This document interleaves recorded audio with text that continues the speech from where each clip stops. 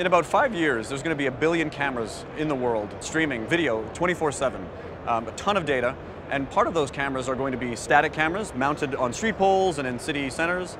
Other cameras are actually going to be moving on vehicles and into autonomous robots and drones. What we're showcasing here is supercomputing in a police car, analyzing all those video feeds. Multiple video feeds around a car, body-worn camera footage, all being analyzed with the GPU and, and the NVIDIA platform. So some of the problems we're solving with putting supercomputing in moving vehicles is identifying a particular car, maybe it's a make, maybe it's a model, maybe it's a license plate.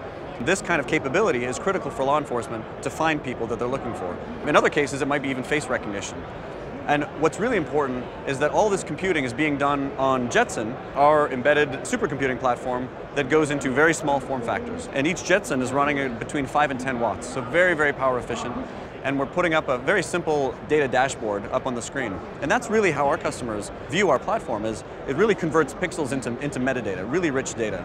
Because the world wants to really move beyond just video and pixels and into metadata, and that's what our platform provides.